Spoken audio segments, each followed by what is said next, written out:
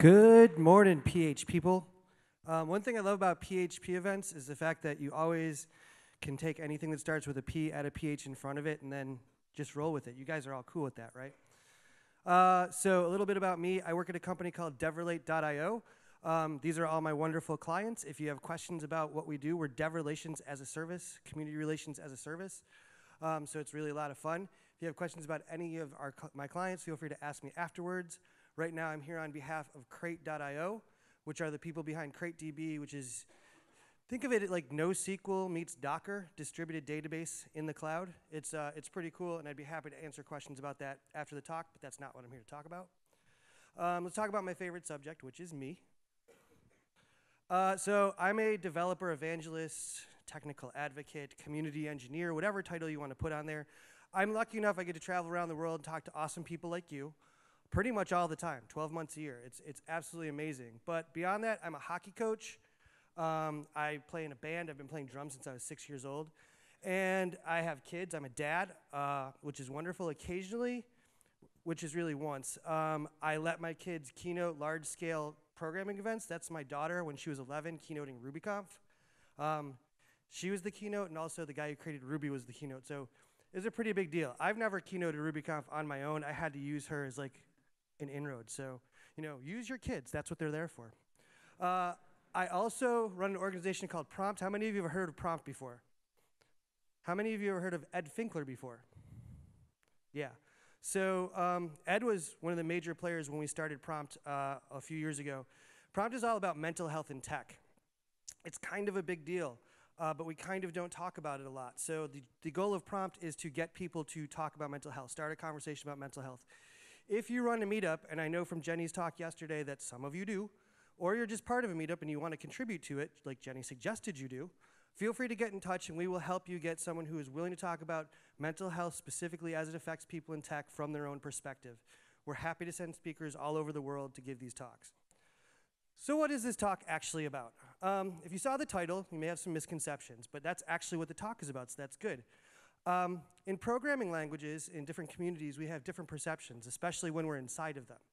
Uh, we all think our own community is the best, right? Uh, not everybody outside of your community thinks that because they think their community is the best. That's one of the problems we have. There's also certain things that different parts of the tech community, the non-programmers, if you will, when they look in at us, what they think about us. And then there's also the ideas that differ between open source and the enterprise. And we're going to talk a little bit about that as well. What this isn't about, if you saw the title, is actual urban legends. So if you thought this was going to be about cryptozoology or chupacabras or what have you, I, I really apologize. Um, that's not what we're going to talk about. But let's start at the beginning. Let's start with PHP. Um, first of all, really shocking that it's not pronounced FIP. I think that would be a more appropriate name for the language. PHP has been around for years, right? It's been around so long that most people when I go to conferences, and I give this, I, I've given this talk at other conferences and meetups, and I say, how many people have programmed in PHP? I'm not going to ask that of this room. I think that's a silly question in here. But almost, it doesn't really matter. Wherever I go and I ask this question, I say, Who pro, who's programmed in PHP or currently programs in PHP? Most hands go up, with the exception of maybe some younger folks who, you know, have gone to boot camp and it's their first event. Um, but for the most part, everybody's programmed in PHP, so kind of a big deal. Yet, one of the first myths that I found out about when I was working on this talk was that apparently some people think PHP is dead. Um, quick caveat I could easily have named this talk Everything is Dead and Why Do We Even Bother? Because you're going to see this dead concept come up quite a bit. Every programming language at one time or another has been called dead, but we're starting with PHP. Um, as some of you may know, PHP is kind of a big deal. It's used by large scale companies, and I believe statistically, the most recent statistic is that 68% of web applications use PHP. Um, and when I first heard this, I think I was told it was like 72% uh, by a friend of mine. You might know, you might know Davey Shafik. He helped me write this talk. Um, and we were talking about it, and I was like, that's amazing. So I started to look into it, and there's reasons why. First of all, a lot of servers use PHP because they're expecting to have to serve it. So that counts towards the grand total. Obviously, there's bigger applications like Facebook uses PHP. Twitter has PHP built in. Um, lots and lots of big things. But also there's the fact that other languages actually borrow from PHP.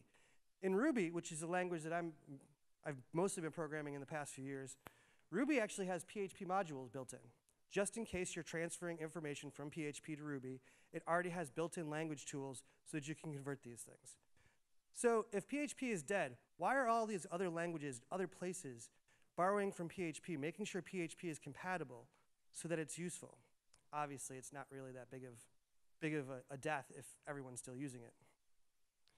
So microservices. Um, some folks think that PHP, because it's so often used in large-scale monolithic applications, that microservices are, are a complete impossibility. Apparently, a lot of people believe that everything is kept in one giant P PHP file. Um, this was kind of true once upon a time. Uh, I remember when I was at a place, and this is a while ago, we were using like PHP 3, maybe 4 had just come out. And the entire thing was 130,000 lines of code. Yeah, that was not laugh. That was uncomfortable laughter. Someone just gave uncomfortable laughter because no one should ever build anything like that ever. Um, it was converted from 150,000 lines of Visual Fox Pro. Any Visual Fox Pro developers in the house? I'm sorry. I feel you. I feel your pain. Um, so yeah, making it going from Visual Fox Pro to PHP was like a major jump, uh, but still, the idea is that this is this is completely untrue. Like no one should build that way. If you build something that monolithic, 130,000 lines of code in one file, you're doing something wrong to begin with. Um, and, and to be completely honest, with, with the advent of frameworks, which just about every language that uses the web has these days, uh, microservices are easy. You can easily break things down and, into smaller bits and make them work together. That's the whole point of you know, containerization and everything that we're looking at, you know, serverless and all the new advents. PHP can take advantage of that just like any other language. So I think this is an old perception. It's, it's starting to go away, but I think people still have this idea that PHP is, is old and beat. Um, people say that because PHP is an interpreted language, it's, it's slow. It doesn't have a compiler, so it must be slow. Um, this is something that actually came up with Ruby that I was surprised to find kind of the two things together. Like, oh, it's not compiled, and therefore it's a slow language. Um, this is another older misconception, which I find interesting.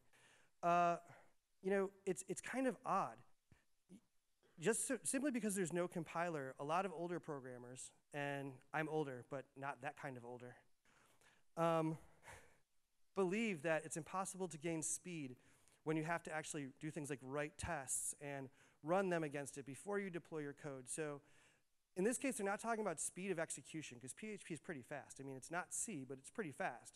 Few things are C, just pretty much C actually. Um, it's the idea that it takes you longer to develop because it's not compiled. You can't find your problems as quickly because it's not compiled. I think this is a familiarity issue. I think the more familiar you are with any language, the easier it is, regardless of whether it's compiled or not. Um, I don't think that anyone who is doing something like Go when it first came out was like, man, I'm brilliant. I'm writing, I'm writing modules in like 15 seconds because it's compiled. Now I'm so much better at what I'm doing because compiled is better than not compiled. Ridiculous. Complete and utter misconception. Security. Now, this is an interesting one. Um, I put it here not because of PHP. I put it here because this is the beginning of the talk.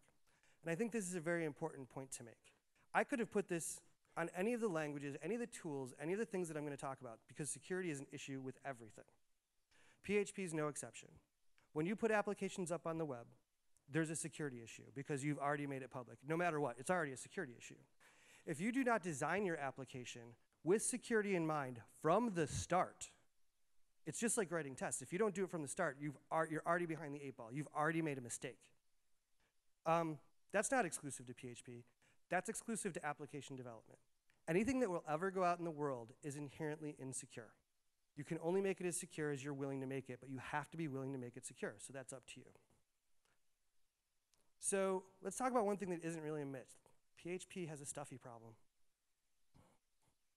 Some of you laughed and some of you didn't. Um, when I was originally, when I originally wrote this talk, the idea was that PHP was for business applications. It was stuffy. You know, it's for people in suits. It's for people in cubicles. You know, web applications that aren't fun. Uh, obviously, that's not true. we I already mentioned Facebook and some other things that use PHP that obviously have nothing to do with business, although Facebook is kind of getting more businessy by the day, which is slightly disconcerting. But the real stuffy problem in PHP, and this is no myth, is that you people really go for these stuffed animals. I don't get it. I've never gotten. I mentioned my friend Davey earlier, who would who would literally call me and be like, "You're not going to believe this. I went to True North PHP and and Grumpy made this woolly mammoth stuffy, and I bought it for $150." And I'm like, "What?" It's a stuffed animal.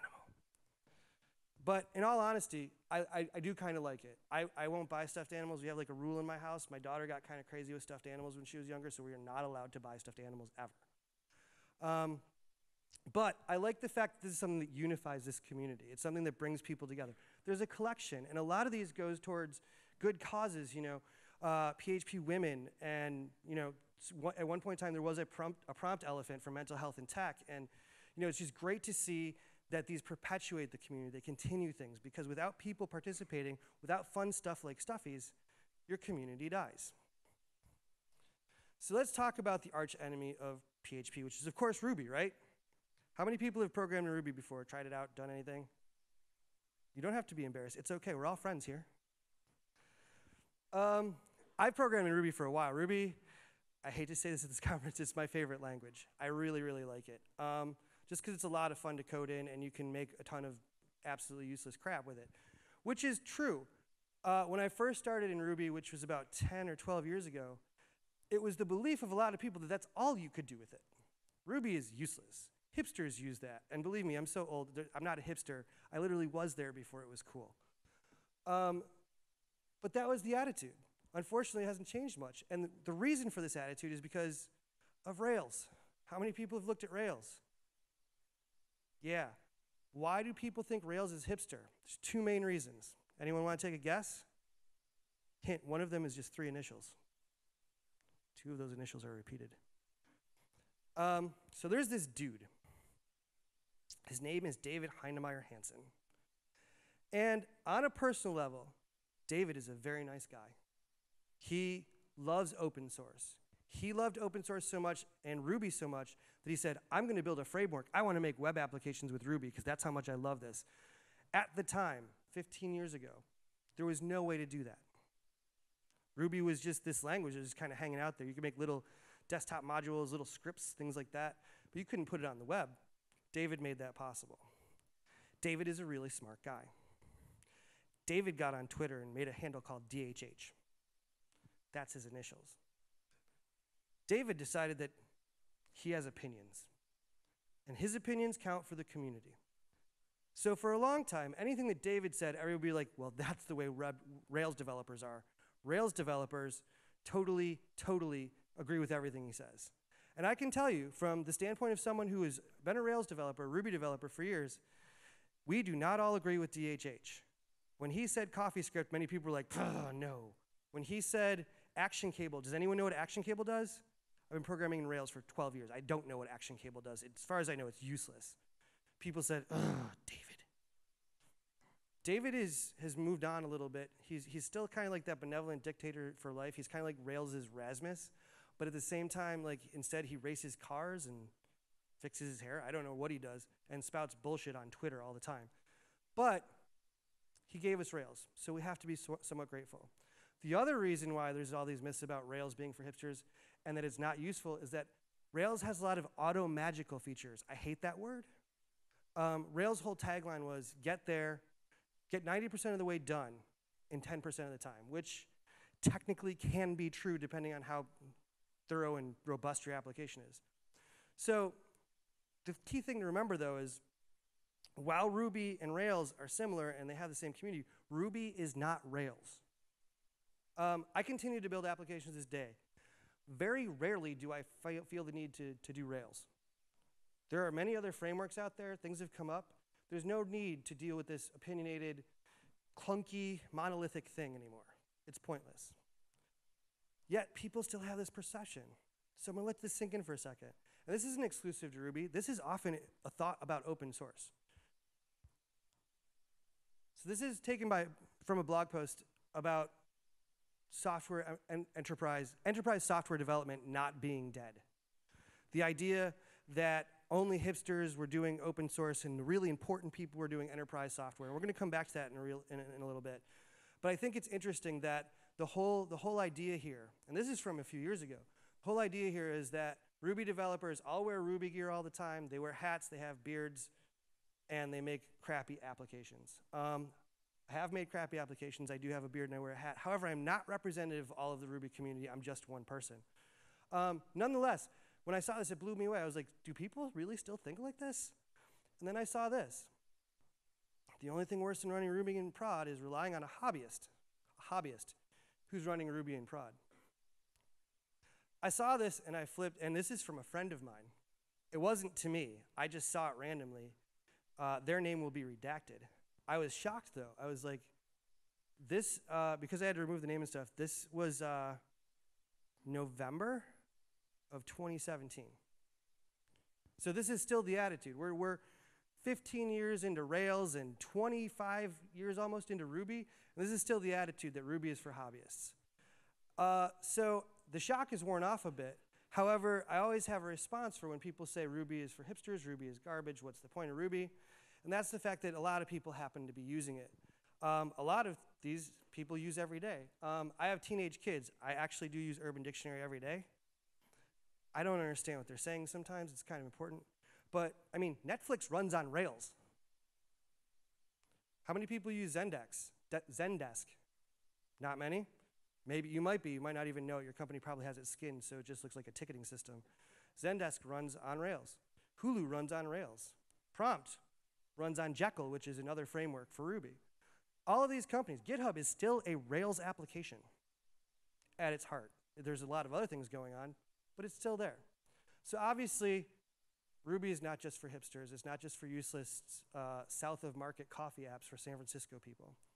So let's dispel that myth. Let's talk about Java. Java is totally dead, right? Nobody uses Java. Um, but yet, yet, it's one of the biggest powers in application development still to this day.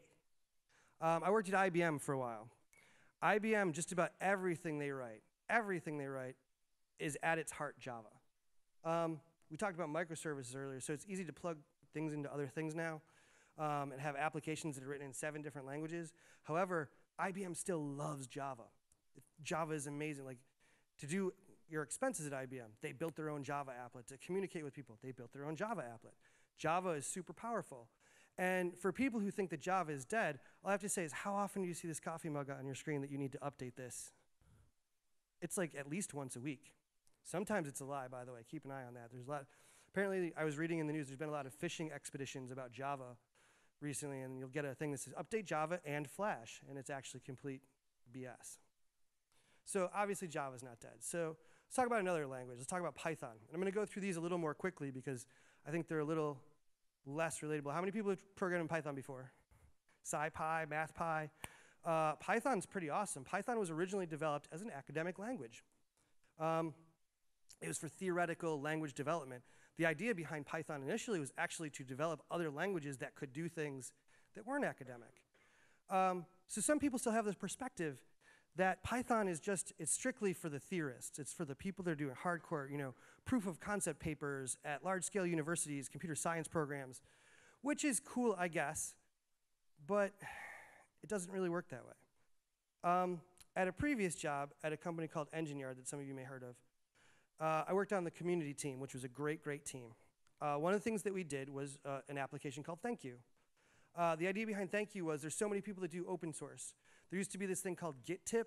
I know it changed its name and eventually went away. But uh, the idea was if someone signed up to GitTip, you could send them like, you know, a couple dollars a week, and that would help perpetuate their open source, you know, work. It's just a little way to say thank you. Here's a tip, thank you. Um, so we developed a Python application strictly built out of love, no academics here at all, that anyone at Engine Yard could say, hey, I know this person. I know Dave Stokes, and Dave Stokes does a lot of awesome open source work. I'm going to give him a Git tip put him on the list. Dollar a week. Cool, and we had this budget, and it would take from the budget and put it in Git tip for these people, and it was awesome. So that's not really academic, but that's a personal example. Let me give you another big example. RailsConf a couple years ago, they brought this gentleman from Spotify. Um, I'm sure we've all heard of Spotify. I don't need to show hands on that. Um, Spotify is a pretty awesome program, mostly written in Python, um, with a lot, a lot, a lot of JavaScript. He talked about how they started, like the original idea behind Spotify was similar to Pandora. They wanted to analyze music and see how it went. They started getting into Python and started realizing there were a lot of fun things you can do. And one of the things that he talked about at RailsConf, which was amazing because similar to talking about Ruby and Python and Java at this conference, he was talking about Python at RailsConf, which was just keynote, blown away. He made a uh, an application, his team made an application called Jump the Frog. Jump the Frog, you give it two pieces of music, and it will draw a line between those two pieces of music. So everyone knows who Katy Perry is, right? no one raised their hand. You know who Katy Perry is. Don't lie to me. I know it's early, people, but come on. So you know who Katy Perry is. I would imagine less people know who, and I'll use just because we had this conversation earlier, fewer people probably know who Mastodon is. Who knows who Mastodon is? Yeah. So Mastodon is, you know, they're, they're a metal band, if you really want to get literal. They are a sludge metal band from Atlanta. Um, you wouldn't think there's a whole lot of commonality between Katy Perry and Mastodon. You don't see a lot of, lot of parody between, you know, a song about being a paper bag and baby or a firework and a song about the curl of the burl, which is about how you shave wood, um, which is bizarre. But anyway, the point being, within 10 songs, he could find anything.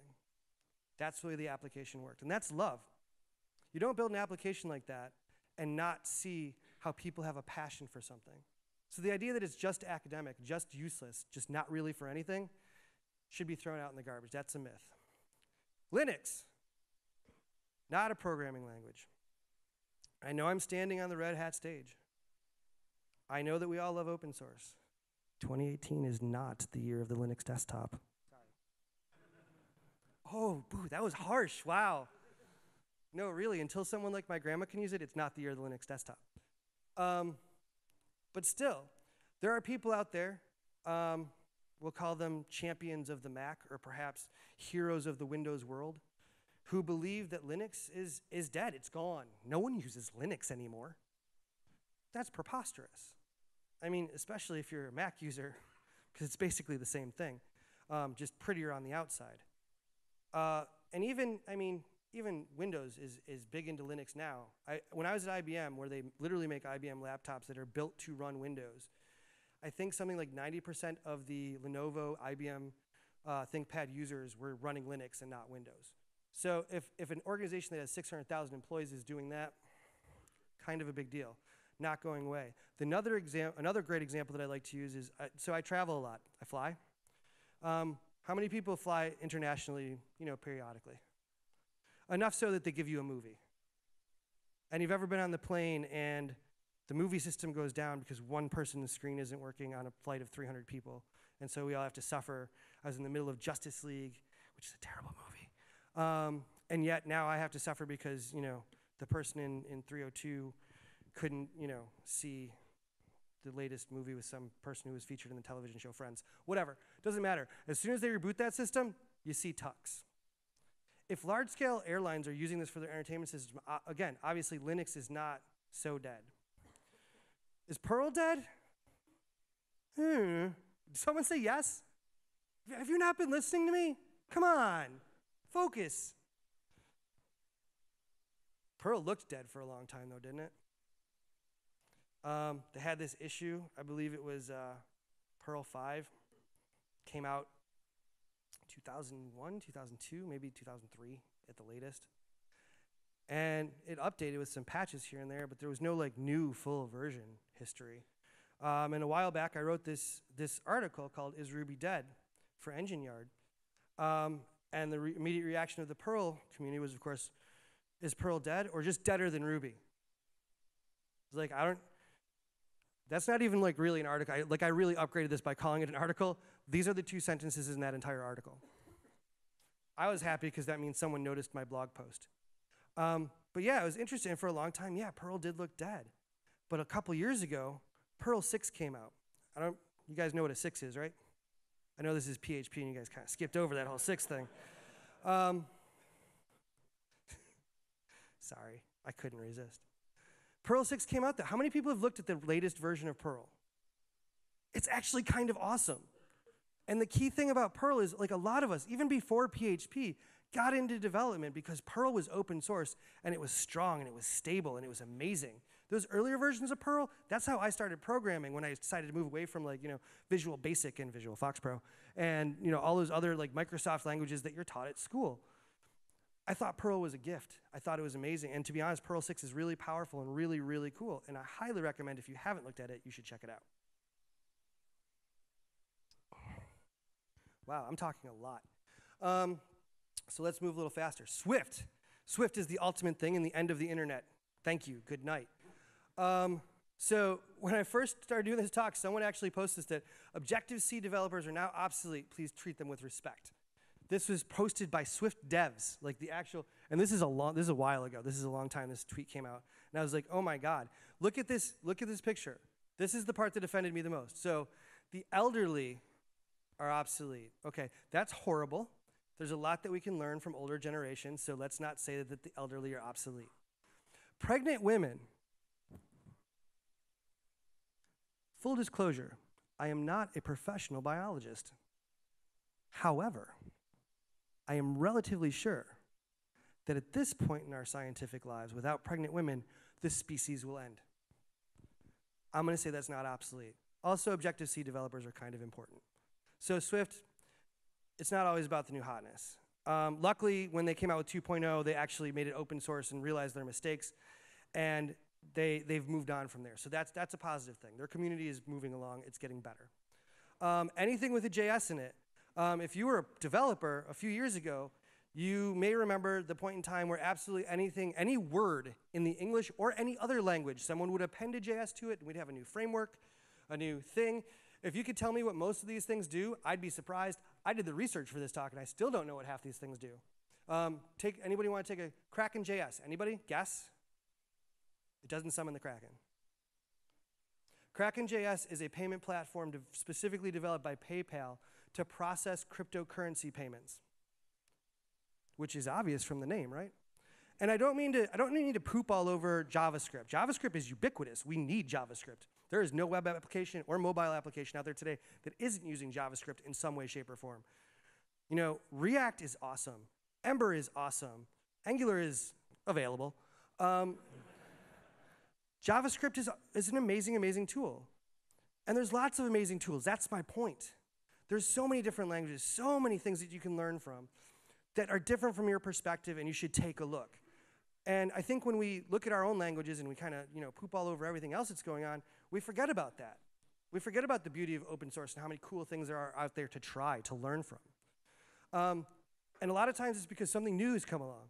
How many people left the PHP community because Ruby came along? How many people left the Ruby community because Go came along? How many people left Go because JavaScript was the new hotness? Like, it's, it's, it's a perpetual thing. And we can't just do that. It's about evolution. It's about things changing at a rate that's understandable and getting better. So I want to talk a little bit we understand this from the language perspective. I think we've got that now. So let's talk a little bit about communities. I love this picture because in many ways it describes the tech community to a T. Let's say these red folks are Ruby folks, and the blue folks, they can be PHP, and the green folks, JavaScript, sure, why not? Orange, uh, they can be just Java. Yellow is uh, .NET developers.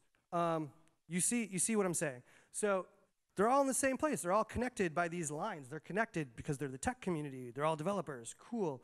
But they're all in their own little circles and they're not communicating to each other. Why can't we do that? Why is that a problem? And I'll tell you why because people have these weird perspectives. People say ridiculous things.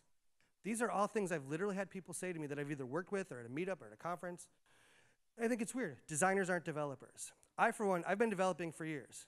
I would not be able to match my clothes if I was not married. And if you want to see pictures of before I was married, you can see how true this is. Um, I used to wear black shirts all the time because you can't screw that up. But, you know, I can't design a web application that looks good. I can design a web application that functions. I can design a web application that works, and it's got a white background with black text, and it's in Time New Times New Roman because that's the default. And that's how it goes. Then I get somebody who, who comes along and makes it pretty and looks good so that people might actually want to use it. Um, this other one, sysadmins can live without developers. This was said to me by someone who was obviously a sysadmin um, at a cloud company. And it took me back a second, and I said, all right, let's just say, for example, there's no developers. What do we need sysadmins for? What the hell are you serving? That's like saying the restaurant industry is great if we could just get rid of all these people who are eating. Makes no sense. Uh, business folks just don't understand developers. This one, small caveat, it, it is difficult. This, there's a cultural difference between the two groups. Um, I personally, I'm not, I don't care about making money. I don't think it's a big deal. Um, I'm not going to go on an anti-capitalism rant. That's not what I'm here for. It's also not my politics. Don't really care. Um, but this came along when someone who was running a business was looking for developers came to a meetup that I was running. And you know, someone was like, oh, "I can't believe this guy. He walked in. He's wearing a suit. A suit? Are you kidding me?" It's like, so your issue isn't so much with the fact that he's businessy and not a developer. That your issue is with his fashion. Um, it's not true. The guy is actually really smart. He had been a developer. He moved into business because he started his own startup. And when you start your own startup, you kind of have to do the business end too, as I've learned recently. Um, and that might not be great. You might be super technical, but you just happen to also like three piece suits. That's cool too. Whatever. Don't shun people out. Don't shut people out. Tech people are socially inept, all of them. This is my favorite. Someone said this to me after I gave a talk in a room like this one, maybe a little bit bigger. It was like 2,000 people. And I was like, these people are all talking to each other after I talked up on stage. Where's the social ineptitude? I just laughed it off, moved along. The idea is we need to share ideas. We can't just say, oh, you're, you're a PHP developer, I'm a Ruby developer. We should never identify ourselves that way. I'm PJ. You're, insert name here. Um, and, and you learn. The more you cross pollinate, the more you look at the different ways people do things, the more you learn, the better you can make the language that you focus on, the better you can make the community you focus on. And the better you make it, the cooler it can be. We can be giant, super awesome robot guy of the tech community or lady. I don't know the gender of this robot. I should not have assumed. This robot is awesome. We can be awesome. That's what we need to focus on. But we have to get rid of the biases. And what's one of the biggest biases we have? Throw all the languages out, throw everything out. One of the biggest biases we have the comparison of open source to enterprise. Because enterprise is, of course, the most horrible thing in the world. And open source is for hippies. Remember? Hipsters. We make stupid apps. People that live in basements with neckbeards, even the ladies with neckbeards, trying to put together enough Linux packages so that we can maybe get enough food to feed our 250 cats that are living in our mom's house where we live in the basement of because that's what open source developers like. And then, of course, there's you know the enterprise developer. Ha! business. Working in a small gray cubicle to build software for other people who work in other small gray cubicles, just eking out a life so they can make enough money to retire comfortably to, you know, the suburbs. Um, that's bullshit. That's total bullshit. I have a good friend, a guy named Chad Fowler. Really good guy, really good guy. Met him in the Ruby community. Um, he went to work for a place called Wunderlist. Wunderlist is an awesome way to keep track of things if you're like me and you forget things, like you have a great thought and then it's gone. Um, he was a Ruby developer when he started there. Then he realized that, you know, Microsoft was on the table. They were going to buy this company. So he started looking at VB.NET and C Sharp and F Sharp and a bunch of other technologies. And now he's like a full on polyglot who understands the value of doing all this thing. And he is technically on paper, an enterprise developer. Never seen him wear a tie, and I don't know how much money he makes, and he doesn't seem to care either. He still has a big bushy beard, still loves open source. He's an enterprise developer. There's a lot of things that we can learn from the enterprise development community organization, um, deadlines, the importance of making things as available, as general as we possibly can for everyone, following guidelines like accessibility, there's a lot of things that enterprise can learn from us, like creativity. The idea of code is craft. The idea of making something with passion, not just because it has to be made. So if we get along, things will get better. Do it for the children. So, what else? We need to dispel a few myths in general. There's no such thing as a rock star, wizard, ninja developer. We've all seen it on LinkedIn, we've all gotten the recruiter emails, and it's complete and utter crap. If you were a rock star, you'd be up on a stage much bigger than you'd be sleeping. You'd be sleeping, it's the middle of the day. But later tonight, you'd be on a stage much bigger than this doing a lot louder things. If you were a ninja, okay, maybe that's possible because you can't see ninjas. There could be some in this room right now. And as far as I know, regardless of the fact that I spent a lot of time at Platform 9 and 3 quarters last night, don't judge me. There's no such thing as wizards in real life. We have to be cooler with each other. We have to stop thinking that we're the best of the best. We have to stop thinking that what we code is, is all about our, our identity. There's so much more to people. But the whole point of that intro slide I'm a dad, I'm a drummer, I also happen to code.